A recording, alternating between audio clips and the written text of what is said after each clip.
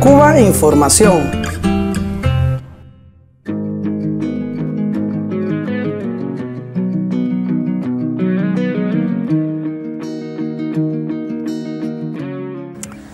Hablamos con Julio A. Díaz Vázquez, del Centro de Estudios de la Economía Internacional. Él es un investigador, veterano investigador sobre los modelos socialistas, sobre la economía cubana también, y un verdadero especialista en la economía china, en la economía de Vietnam y de otros países asiáticos. Vamos a hablar con él sobre similitudes, sobre diferencias entre estos modelos o estas propuestas de modelo económico y el propio modelo socialista eh, de Cuba. Eh, hola Julio. Encantado. Bueno, titulas... Soy, to- soy todo oídos. Todo oídos. bueno, pues eh, titulabas uno de tus trabajos, reciente además, ¿es aplicable el modelo chino-vietnamita en Cuba? Bueno, imaginamos que la respuesta, a tenor un poco de, de- de los, de los debates en los últimos tiempos que remarcan que no hay modelos, que Cuba tiene que construir el suyo, imaginamos que la respuesta es que no. Pero bueno, ¿qué nos podías comentar sobre esto? todo, eh, ese trabajo eh, lo escribí precisamente para mm, resolver dos problemas. El primer problema, fijar mi actitud con respecto a, China y con respecto a lo que se manejaba o se maneja en Cuba a, a tenor de la discusión que se abrió con los elementos que se discutieron o los documentos que se discutieron en el sexto Congreso del Partido. Y ante todo, esto lo prohijó una compañera muy querida de la Universidad de La Habana, que un día nos encontramos accidentalmente y me dijo, oye Julito, antes tú hablabas bien de la Unión Soviética, ahora hablas bien de los chinos. Ni antes hablaba bien de la Unión Soviética o del modelo soviético, ni ahora tampoco eh, soy partidario, ni fui partidario del modelo soviético, ni fui partidario de no ser partidario del modelo chino.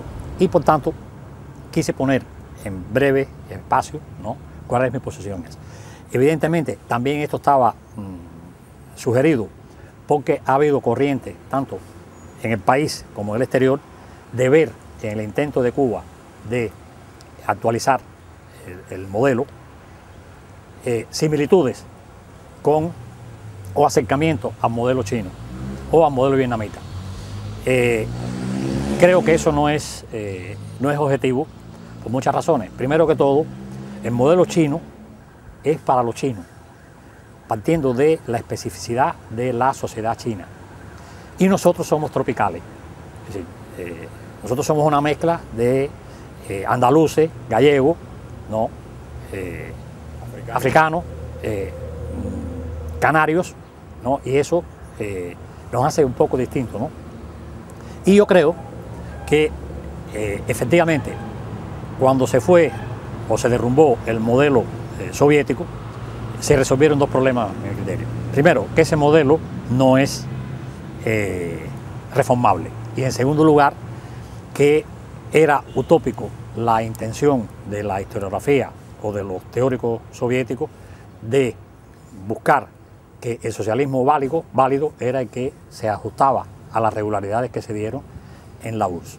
Yo creo que eh, Cuba, como China, como Vietnam, como otros países que intenten construir, o mejor dicho, superar la sociedad burguesa, tienen que crear su propio modelo.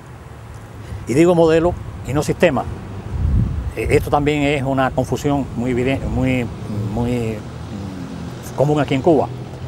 El hecho de que el capitalismo tiene distintos modelos y se reconoce. El modelo, digamos, japonés, que es capitalista, no se parece al modelo anglosajón. Entonces, yo creo que más que hablar de sistema o de derrumbe de un sistema, lo que se derrumbó fue un modelo. Y aquí, permitiéndome un poco la, si se puede entender como autosuficiencia, fui de los primeros especialistas que comenzó a hablar ¿no? del derrumbe de un modelo y no del sistema. Y aquí aprovecho entonces para agregarte, hay que hablar del socialismo en el siglo XXI, no del siglo XXI. El socialismo del siglo XXI tiene que recoger la experiencia del siglo XIX, la experiencia positivas y negativas del siglo XX y proyectarse en función de los cambios que está, se están produciendo en la propia sociedad burguesa. Entonces, en ese contexto es que traté de dejar claro ¿no? que Cuba tenía que buscar eh, su acomodo ¿no? Eh, y podía evidentemente aprovechar y debe aprovecharse porque eso es, válido, ¿no? Si siempre vamos a resolver las mismas, todas las sociedades tienen que resolver tres cosas, ¿no? Alimentarse, vestirse y buscar dónde vivir, ¿no? La forma en que se resuelven esos problemas es que lo van a diferenciar unas de otras. Yo creo que en ese contexto los chinos están en ese proceso y además para lograr, entre otras cosas, el aumento del nivel de vida. Los vietnamitas están en ese mismo proceso, pero nosotros vamos ahora a iniciar, si se quiere, una nueva fase, ¿no? Y en ese contexto creo que es válido estudiar qué puede ser útil, ¿no? Y qué puede, eh, en qué podemos curarnos en salud sin repetir. Por ejemplo, evidentemente eh, el Congreso nuestro, el sexto Congreso, planteó que la planificación tiene que darle entrada al mercado. Eh, distingo no usar la economía de mercado, puesto que eso ya nos llevaría a otro, a otro, a otro plano. ¿no? Eh, en ese contexto, es bueno estudiar las experiencias vietnamitas, la experiencia china y fundamentalmente la china, que lleva más tiempo y con más éxito, pienso yo, en lo positivo que le ha aportado el mercado y lo negativo. Es decir, eso creo que nos puede servir a nosotros para eh, curarnos en salud, no repetir, ¿no? ver eh, evidentemente, lo mismo que le sucede a los chinos nos va a suceder a nosotros. Pasamos de un modelo centralizado a uno descentralizado. De pronto se rompe, es decir, hay toda una acumulación cultural ¿no? de eh, hacer del mercado un, demonio, ¿no? Por consiguiente, de pronto entras en ese mercado, tienes que, eh, no tienes, digamos, basamentos jurídicos, económicos, financieros, Psicológicos incluso, ¿no? No, ahí, ahí entra lo de, lo de, liberar las mentes, ¿no? La importante, importancia que tiene, ¿no? Por consiguiente, digamos, en el caso de Cuba, más de dos generaciones se han educado fuera del mercado. Es más, recibiendo permanentemente una, un, un, barraje ¿no? de, de elementos que hacen del mercado un demonio. Bueno, ahora lo vamos a incorporar. Entonces, eh, cómo preparar, porque los que se han educado en ese enfoque van a, van a, van a, enfrentarse a un, a un choque de, mm, mentalidad y cultural, ¿no? que China lo, ha manifestado muy bien. ¿no? Una de las causas que se plantean, o, que no se plantean en toda la magnitud de Tiananmen, es decir, de la tragedia de Tiananmen, es que en el fondo ¿no? está también presente, aparte de la inflación, la labor de, las agencias eh, extranjeras, no, estaba también el factor del rompimiento de una sociedad que se desarrolló cerrada y de pronto se abre. Entonces hay una parte importante de esa población que ve venirse al suelo sus valores, entonces se sienten desorientados. Yo creo que esa es una experiencia que Cuba debe también estudiar y cómo eh, resolverla. ¿no? Eh, eh, aquí hablamos en Cuba de eliminar el secretismo. ¿no? es una forma muy tropical de plantear que hay que ir a una apertura. ¿no?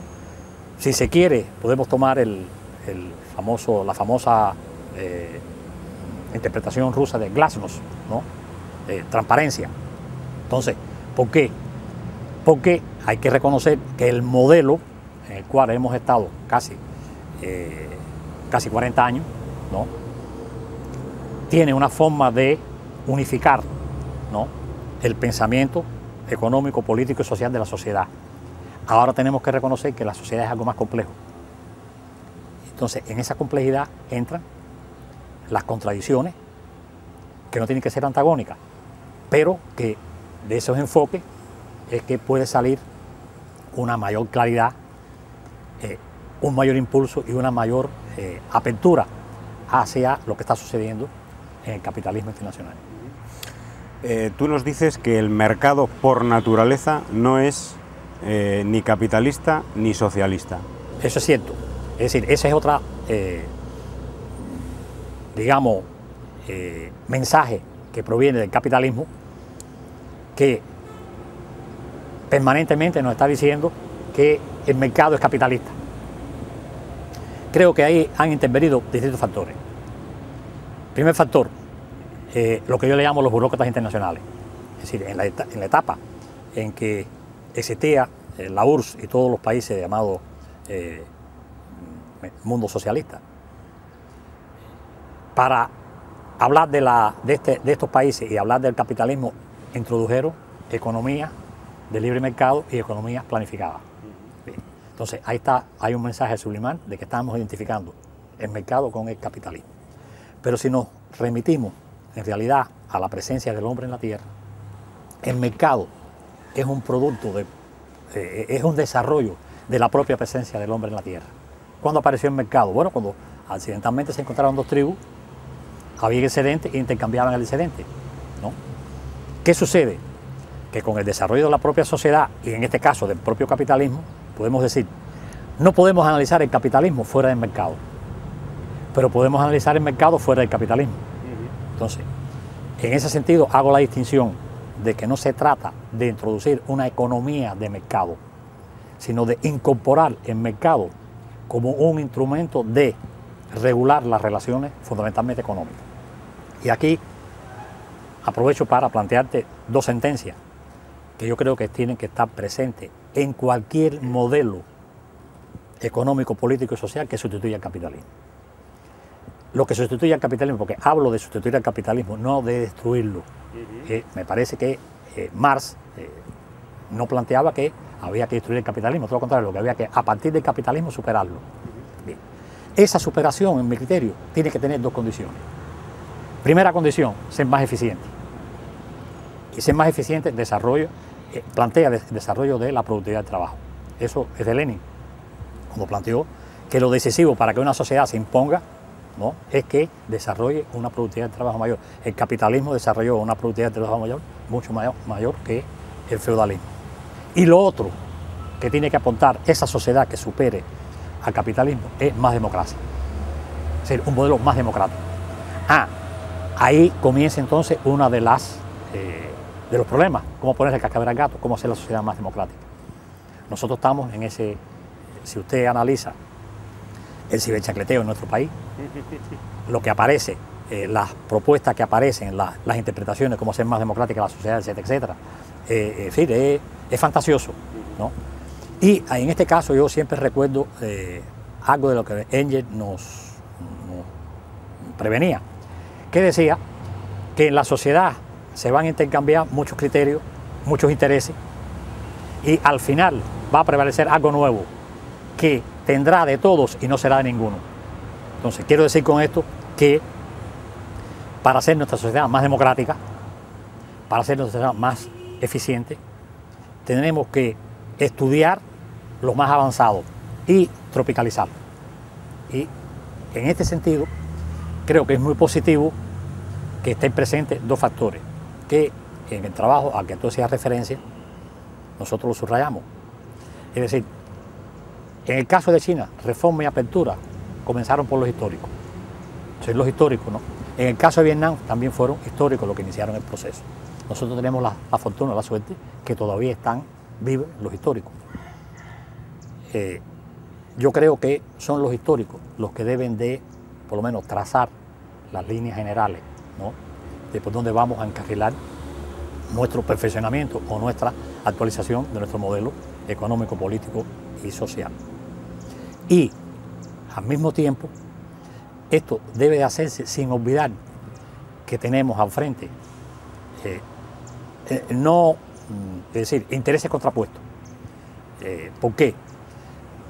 Porque evidentemente Estados Unidos en su política contra Cuba o con respecto a Cuba tiene una constante. La constante es que en América Latina no puede existir un proyecto de desarrollo social que no sea santificado por ellos. Este proyecto nació autóctono, y te lo puedo decir yo, perdonándome ahora que hable de... Yo hice eh, oposición a Batista, en todos los niveles. Oponerme a Batista, era muy joven, puede ser que también entrar ahí, no era por un problema de desarrollo político ideológico, sino era porque rechazaba eh, eh, la forma, yo soy de una aldea, pequeño pueblo de Pinar de Río, en que un guardia rural se acercaba a un joven, le daba con la fustica en el hombro y decía, oye, es hora de que te vayas a dormir para la casa. Sí, me rebelé contra eso. Hoy no, hoy tengo que plantear que soy un poco más, eh, soy menos analfabeto que en aquel momento. Pero eh, pienso que ese, esa situación de Cuba, eh, recientemente acabo de leer las declaraciones que hizo en un almuerzo en un lugar muy cerrado, Kennedy, donde reconocía ¿no? el papel nefasto que había tenido la política de Estados Unidos con respecto a Cuba y sobre todo el apoyo que le habían dado a Batista. Por consiguiente, la estructura de poder de Estados Unidos, cualquiera que sea, republicana o demócrata, no va a aceptar o va siempre a tratar de subvertir el proceso este que hemos iniciado en el 59. Eso no se puede perder de vista. Sin embargo, tampoco se puede perder de vista que Estados Unidos, para decirlo en una metáfora china, hace años leí eh, la intervención de un ministro de Relaciones Exteriores de, China, donde planteaba que China reconocía eh, potencias hegemónicas, pero China rechazaba las posturas hegemónicas. Yo creo que me pareció decirme, y me sigue pareciendo muy, muy sensato, ¿no? ese enfoque, puesto cualquier rumbo que tome Estados Unidos, Estados Unidos habrá que contar con esa sociedad en el futuro, puesto que es una sociedad que marcha a la vanguardia con respecto al desarrollo científico-técnico. Pero también la vida nos plantea que por grande y poderosa que sea una sociedad, no puede monopolizar el proceso científico-técnico. Es decir, estas son algunas de las eh, vivencias que yo creo que hay que no perder de vista. Eh, Julio, las reformas en China, en Vietnam, comienzan en el campo, comienzan con la transformación del modelo agrícola. ¿Eso podría ser una, sí podría ser una similitud con el caso cubano? Evidentemente. Eh, es decir, podemos ir más atrás si tú quieres. Eh, ¿Por dónde empezó la revolución industrial en Inglaterra? Por el cambio que se da en la agricultura, ¿no? Cambio en los cultivos, cambio en las razas de ganado, etcétera, etcétera. Es decir, sin aumentar la productividad del trabajo en la agricultura, no puede, no puede plantearse un esquema de desarrollo social. En el caso nuestro, los intentos que, que hicimos bajo el modelo anterior de transformar la agricultura y convertirla en lo más avanzado, evidentemente tenemos que reconocer que no ha dado los resultados esperados. Y hoy los investigadores reconocen que eh, en la eficiencia en el campo cubano va de el productor individual, después las cooperativas, ¿no? y después la estatal. Es decir, en ese orden es que va eh, la eficiencia ¿no? los productores. Por consiguiente, en el caso de Cuba y de, Vietnam, apartaría Vietnam porque en el caso de Vietnam tuvieron que entrar o, cambiar el modelo agrícola en función de que se morían vietnamitas de hambre. En el caso de China no fue así. China tenía una situación de déficit eh, de la producción eh, agraria, pero no habían, sí, se desarrollaban hambrunas en, en, algunos momentos, ya fueran por factores naturales, ¿no? Y eh, además no fue inventado por el partido. Es decir, la historia demuestra que la transformación que se desarrolló con el famoso contrato familiar fue una iniciativa secreta de un grupo o de un grupo de campesinos en una cooperativa dentro de una comuna que se pusieron de acuerdo en trabajar individualmente y después entregar y recibir en función de lo que, de lo que cada cual trabajara. E, eso llegó al partido. Entonces, en ese contexto de apertura decidieron eh, experimentar, ¿no? y el experimento dio resultados.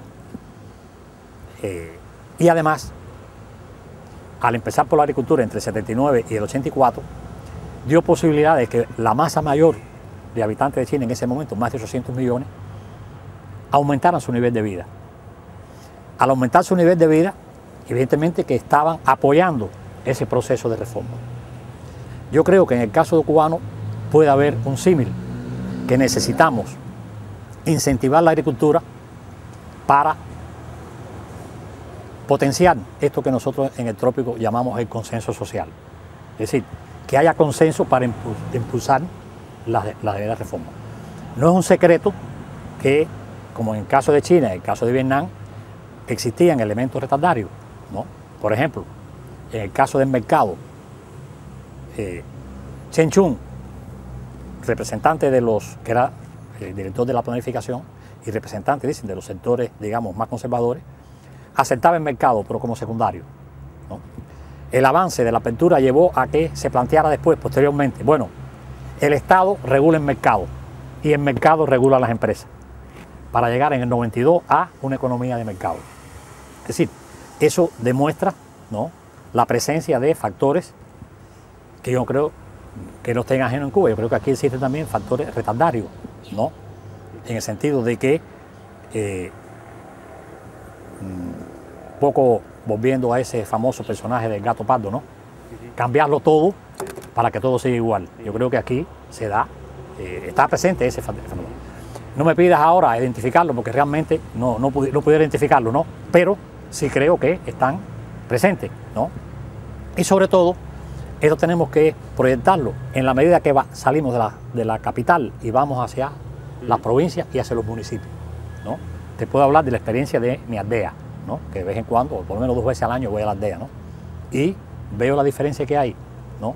Cómo avanzan o cómo se discute aquí en la capital y qué es lo que hay en la, en la aldea, ¿no?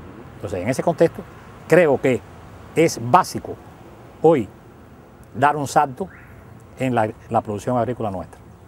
Y este es un elemento que también nos diferencia de, China y de Vietnam.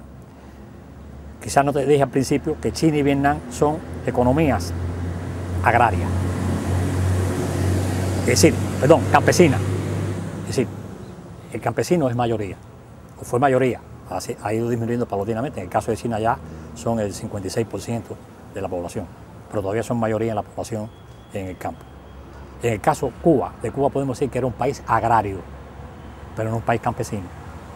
Y esto es una diferencia.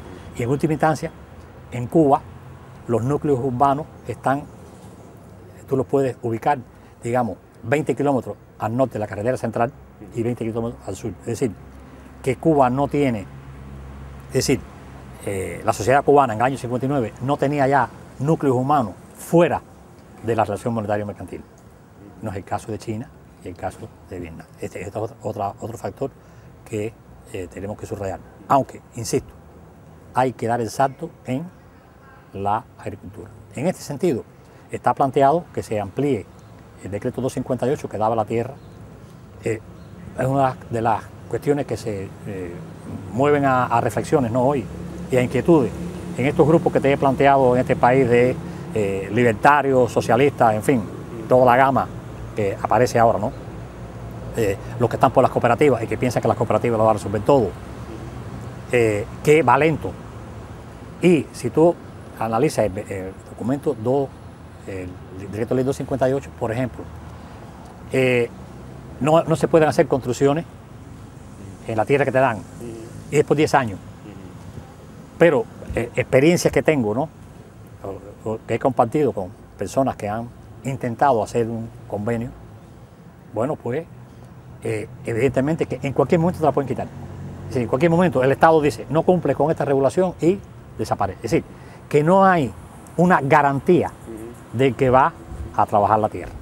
En este caso, con toda idea, yo puse ahí en este trabajo que tú haces referencia, cómo los chinos empezaron. Los chinos empezaron un año, cinco años, 15 años, y hoy el contrato familiar es de 30 años, que se puede renovar por otros 30 años, que son 60 años, son tres generaciones, más de tres generaciones, y además tienen la opción que pueden arrendarla ¿no? y pueden trasladarla, es decir, es heredable. Es decir, le están dando condiciones o seguridades al que hace el contrato de que puede hacer inversiones, puede mejorar.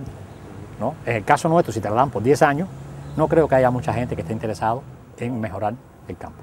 Es decir, lo que puedo decirte con eh, en los programas socioeconómicos eh, a, cinco años vista en Vietnam, en China, se hace hincapié sobre todo en eh, determinadas correcciones de desequilibrios sociales, de, grandes desigualdades, incluso de, situaciones todavía de, pobreza en determinados lugares, déficits en la salud, en la educación.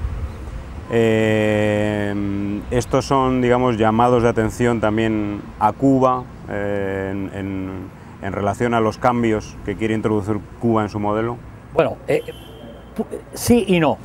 Es decir, en el caso chino, eh, ya llevan más de 30 años ¿no? en este proceso de reforma y han reconocido que, mm, que tienen que pasar, ser un poco más agresivos, quizás en los próximos 10 años, en lo que ellos le llamaron, o le llamó uno de sus secretarios del partido, Guayoban, la quinta modernización. La quinta modernización se trataba de la democratización. Yo pienso que plantearse eso a los inicios de los años 80 era muy temprano. Tú sabes que hay, dos maneras de equivocarse. Los que se quedan atrás o los que se van muy adelante. Yo creo que Huayobán, Huayobán estaba muy adelante. Pero ya en China hay una clase media que algunos, es decir, hay eh, distintas apreciaciones, pero hay quien plantea 180 millones de chinos ya son clase media, otros plantean 240 millones. Pero lo que sí está claro es que China va a tener la mayor masa de clase media mundial como va a tener también la mayor clase de proletariado mundial. Y al mismo tiempo tenemos que hablar de varias Chinas, porque China no es Pekín ni Shanghái, es está lo que yo le llamo la China profunda, ¿no? Viene, eh, por ejemplo, Guangdong. Guangdong ya, desde el punto de vista de eh, eh, per cápita de Producto Interno Bruto, Guangdong es desarrollado. El, PIB per cápita de Guangdong es de más de 10 mil dólares según la metodología del Banco Mundial, cuando pasa de 10 mil dólares, bueno, ya eres desarrollado. Bueno, pero tienes regiones de China que el Producto Interno Bruto está en los 850, 900 eh, dólares, ¿no? Entonces, por eso hablo de distintas China. Pero al mismo tiempo, también tienes que, hay que entender que si en China también se han desarrollado las diferencias y a veces se hiperboliza el problema de los millonarios chinos, etcétera, etcétera. Pero en China el proceso de mejora ha sido general. Es decir, en el caso de China, no estamos en presencia de lo que ha sucedido, digamos, en América Latina y en otros países que han ido por la línea neoliberal. Los más ricos se han hecho más ricos y los más pobres más pobres. Se reconoce que en China han salido de la pobreza entre 300, depende de la fuente, ¿no? Entre 300 y 500 millones de habitantes. Es decir, que han mejorado su nivel de vida. Ah, que existen diferencias, sí, hoy todavía se mantiene la diferencia de ingreso entre el campo y la ciudad es de 3 a 1. Ahora, en los últimos años, está creciendo mucho más rápidamente el ingreso en el campo que en la ciudad, por ejemplo, es decir, en la zona urbana. El año pasado, el índice de aumento de los ingresos en el campo fue de 12%, en el sector urbano fue del 7%. Es decir, que se ve que la política que está eh, siguiendo o que ha instrumentado el partido para hacerle frente a, esos desequilibrios, eh, tiene resultados. ¿no? Esto no quiere decir que esté resuelto eh, el camino para esta, eliminar todas las desigualdades, porque está el hecho también de, digamos, la corrupción. En el caso de la corrupción siempre aclaro, cuando hablo esto con los alumnos o en algún eh, círculo, planteo que el problema de la corrupción en China es, forma parte también de su cultura. Y siempre el ejemplo que pongo, cómo se establecieron, cómo llegaron los portugueses a China. Desembarcaron en la región de Macao, eh, le cebaron la mano al, mandarín que eh, era de la región y cuando el gobierno central se vino a enterar ya llevaban 40 años los portugueses, ¿no? Entonces, eh, en el proceso. Es decir, además, hay cosas que son corrupción en, en la cultura occidental y hay cosas que son corrupción en la cultura China, que no son aquí, y, aquí, hay otras que son y no son allá. En fin, que este es un factor, eh, e, evidentemente, que está en, el tapete en China. Pero lo que no se puede negar es que el país, el partido, el gobierno reconoce que existe y toma medidas. En ese sentido, eh, yo quisiera subrayarte aquí que hago una diferencia entre lo que fue la experiencia soviética como modelo y el chino. Por eso digo a veces, o repito y he escrito, que el modelo chino es un modelo centralizado, pues le podemos hacer todas las críticas que quieran. Pero no se puede dejar de reconocer que es un modelo abierto, porque reconoce que tiene que reformarse. Y además de eso, los chinos hoy tienen, disfrutan de eh, conquistas o de posibilidades que no tenían 40 años atrás. Y Aquí te voy a subrayar lo que yo siempre pongo por delante. ¿no? Todo chino que tenga iniciativa las puede desarrollar. eh, en el caso nuestro, por ejemplo, es decir, y en el caso del modelo soviético más específicamente, eso no sucedía. Siempre eh, la iniciativa tenía que estar aprobada por una parte de la estructura. En ese sentido creo que los chinos eh, han demostrado sabiduría china ¿no? o asiática. ¿Por qué? Los chinos han planteado lo que prohíben. no, no, no, autorizan actividades, sino dicen esto y esto y esto no se puede hacer. Todo lo que no esté ahí se puede desarrollar. Eh, en este sentido también tengo que decir que aquí está presente eh, la sabiduría asiática. ¿no? Y a, veces también, insisto, cuando hablo en algún lugar, que en el mundo hoy existen solamente dos eh, secretarías de Relaciones Exteriores que pueden ir a, su, a sus eh, sótanos y van a encontrar eh, documentos de más de mil años, dos mil años, que eso es China y el Vaticano. Fuera de ahí, no conozco otra experiencia ¿no? que puedan, digamos, remontarse a esa experiencia. Julio, una última pregunta. Al preparar la entrevista, bueno, tú me comentabas que era un tema importante. El papel del, partido en todo este proceso de, reforma en China y también el, papel del partido, indudablemente, en, la transformación cubana. Bueno, eh, yo creo que precisamente una de las cosas positivas ¿no? que el partido maneja en el caso de China, en el caso de Vietnam, para concitar al consenso, es que ha sido el impulsor del propio desarrollo de esas reformas.